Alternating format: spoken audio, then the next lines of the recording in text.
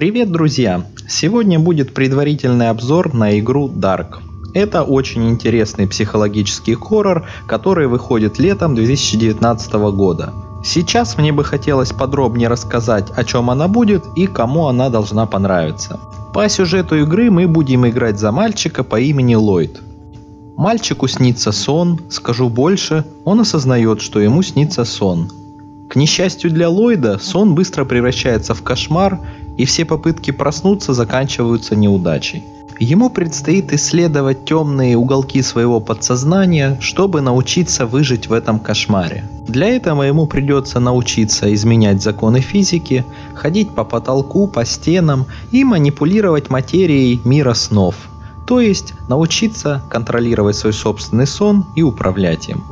Но не все так просто. Помимо игры с гравитацией, Ллойду придется выживать в этом мире, поскольку он будет населен врагами.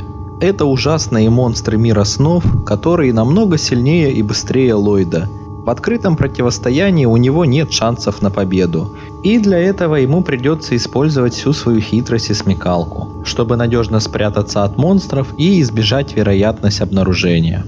Кроме хождения по стенам и игре в прятки, нам с Ллойдом также предстоит решить множество головоломок с перемещением предметов, вращением комнат, а также сбором и использованием найденных вещей. Игра строится таким образом, чтобы как можно больше усилить эффект присутствия, заставить игрока почувствовать, что он находится там же, где и Ллойд, в страшном и непробудном кошмаре, где каждый раз вновь и вновь придется сталкиваться со своими страхами.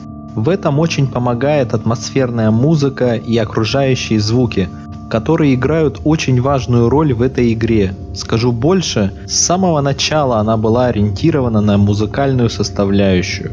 Партитуру к игре записывает известный голливудский композитор Влад Маргульц совместно с Будапештским симфоническим оркестром, а музыка будет смикширована Адамом Шмидтом, который известен своими работами над фильмом «Начало», «Темный рыцарь», «Пираты Карибского моря» и другими. А за звуковое оформление отвечает Бьорн Якобсен, который работает над такими играми как Cyberpunk 2077 и Hitman. Таким образом, за музыкальное сопровождение в этой игре можно не беспокоиться, поскольку написана она профессионалами своего дела. Помимо атмосферной музыки нас ждет уникальный художественный стиль, вместе с блестящим ритмом игры, который опирается на медленное повествование и жуткую атмосферу, а не на кровь и насилие будет множество интерактивных объектов и персонажей, которые раскроют историю и помогут Ллойду найти ответы о своем путешествии. А для хардкорных игроков существуют скрытые предметы для поиска.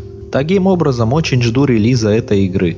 И вам советую добавить ее в список желаемого. Особенно если любитель таких психологических хорроров, как Little Nightmares, Friendbow, Inside, Limbo и других. Ну а на этом я с вами прощаюсь. С меня новое интересное видео. Ну а с вас лайк, подписка и комментарий. С вами был канал Играриум. До новых встреч.